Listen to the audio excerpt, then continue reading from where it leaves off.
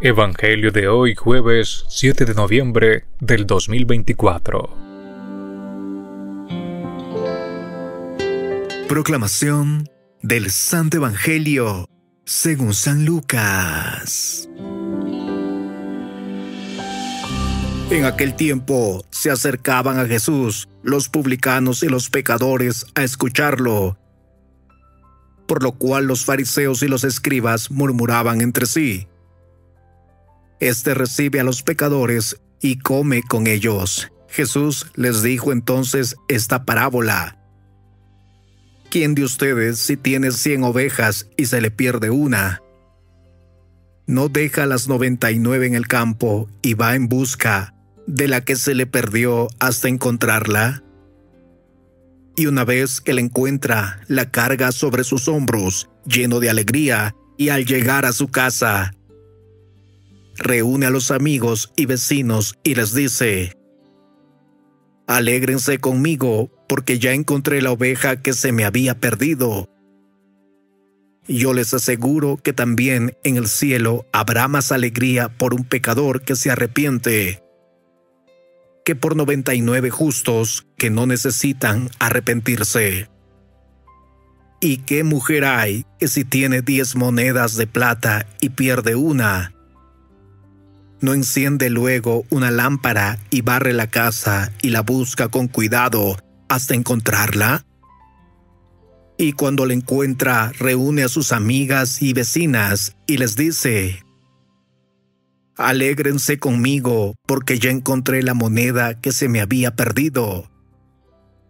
Yo les aseguro que así también se alegrarán los ángeles de Dios por un solo pecador que se arrepiente. Palabra del Señor. Gloria a ti, Señor Jesús.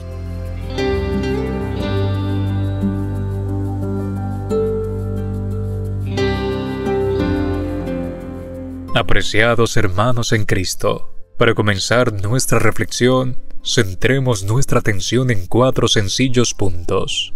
En este primer punto, reflexionemos en esta frase del Evangelio. Este recibe a los pecadores y come con ellos. Una vez más queda marcada la diferencia entre las enseñanzas del verdadero Maestro y la de los escribas y fariseos. Mientras que Jesús enseñaba el amor y la justicia con sus obras, los otros lo hacían solo de palabra. La actitud de Jesús invita a las normas sociales y religiosas de su tiempo al mostrar compasión y amor hacia los pecadores, acercándose a ellos sin juzgar ni condenar. Su mensaje de perdón y redención se manifiesta en sus acciones, rompiendo barreras y demostrando que todos, sin importar su pasado, son dignos de amor y misericordia. Hoy estamos invitados a reflexionar sobre la importancia de la compasión, la empatía y la inclusión en nuestras interacciones con los demás nos recuerda que el verdadero significado de la fe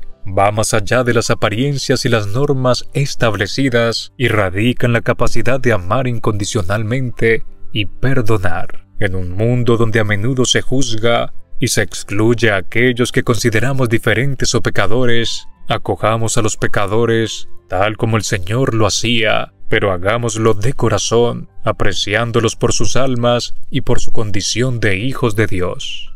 En este segundo momento de la reflexión, meditemos en la parábola de las cien ovejas. Esta poderosa metáfora, utilizada por Jesús, nos invita a reflexionar sobre el valor de cada individuo y la importancia de la búsqueda incansable de aquellos que se han perdido o alejado. En este relato, se destaca la dedicación y el cuidado del pastor que a pesar de tener la mayoría de su rebaño a salvo, decide dejar todo para encontrar a la oveja perdida. Esta enseñanza nos lleva a cuestionar nuestra propia actitud hacia los demás. La actitud del pastor en esta parábola nos muestra el amor incondicional y la preocupación por cada ser humano, recordándonos que cada vida es valiosa y merece ser rescatada. Nos invita a no conformarnos con lo establecido, sino a salir de nuestra zona de confort para buscar a aquellos que se sienten perdidos, solos o marginados. Esta enseñanza nos recuerda la importancia de la empatía la solidaridad y la compasión hacia los más vulnerables. Nos invita a reflexionar sobre cómo podemos ser como ese pastor dispuesto a dejarlo todo por el bienestar de aquellos que se encuentran en situación de necesidad. Recordemos que Jesús nos ama, nos toma en sus hombros y nos devuelve el camino del bien. Meditemos en nuestras acciones, busquemos nuestra redención y dejémonos llevar por Cristo nuevamente a su santo rebaño. En el tercer punto de reflexión, meditemos con ayuda de estas palabras. Habrá más alegría en el cielo por un solo pecador que se convierta. Esta enseñanza pronunciada por Jesús nos invita a reflexionar sobre la importancia de la conversión en el contexto de la misericordia divina. Esta enseñanza nos lleva a considerar la profundidad del amor y la misericordia de Dios, que se regocija ante la conversión y el retorno de aquellos que se han alejado de su camino nos recuerda que la redención y el perdón son pilares fundamentales de la fe cristiana y que la puerta siempre está abierta para aquellos que desean cambiar y volver al camino de la rectitud.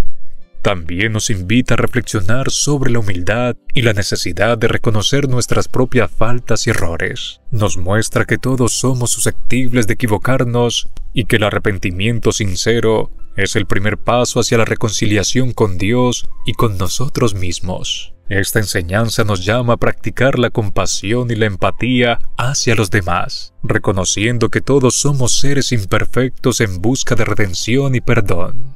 En última instancia, esta frase nos invita a reflexionar sobre la importancia de la misericordia y la gracia divina, recordándonos que el amor de Dios es incondicional y que siempre hay esperanza y alegría en el cielo por cada alma que se convierte y vuelve a su camino. Ahora en el cuarto momento de la reflexión, meditemos más profundamente en la conversión como una necesidad en nuestro proceso de fe. Todo lo que quiere el Señor es que nos convirtamos y ya hemos visto que convertirse implica ver el mundo con los ojos que Cristo lo ve. Por eso el creyente comprende inmediatamente que no se trata de hacer lo que todo el mundo hace y que la explicación de nuestros actos no puede ser esa. Todos nosotros nos esforzamos por obrar como Cristo, por actuar como Él. Es a esto lo que llamamos conversión. Todos estamos llamados a la conversión como el único medio de obrar como Cristo nos manda y la única garantía para alcanzar sus promesas.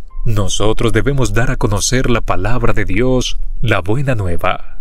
¿Cuál es esta? Que Dios es nuestro Padre que quiere que seamos felices viviendo eternamente, que para eso ha enviado a su Hijo, para enseñarnos el camino y que entonces debemos escucharle y hacer lo que nos manda. Con la ayuda de Dios no hay nada imposible, y tenemos que recurrir a su ayuda, a su apoyo para alcanzar la salvación. Esta es gracia que Él concede a quien se la pide. Por lo tanto, estando la salvación en nuestras manos, solo la alcanzaremos si confiamos en Dios hacer lo que nos manda para alcanzar la vida en abundancia, la vida eterna. Ahora para finalizar con ayuda de las siguientes preguntas, analicemos nuestro corazón. ¿Dejo que el Señor me guíe y me conduzca como un pastor hace con sus ovejas? ¿En mi vida, cómo me comporto? Oremos. Padre Santo, danos la gracia de oír y hacer lo que Jesús nos manda, de mantenernos siempre unidos a tu rebaño y de constituirnos en ejemplo que atraiga a nuestros hermanos para que cada vez más tu reino se extienda por todos los rincones del planeta.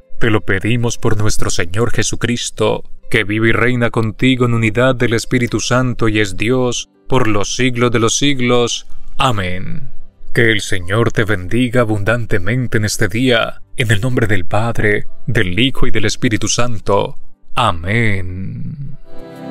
Si esta reflexión te ha gustado, recuerda dar like, dejarnos tu intención en los comentarios y activar la campana de notificaciones para que todos los días recibas estos preciosos mensajes. Te saluda tu hermano Daniel, deseándote un día lleno de bendiciones. Somos Red Católica.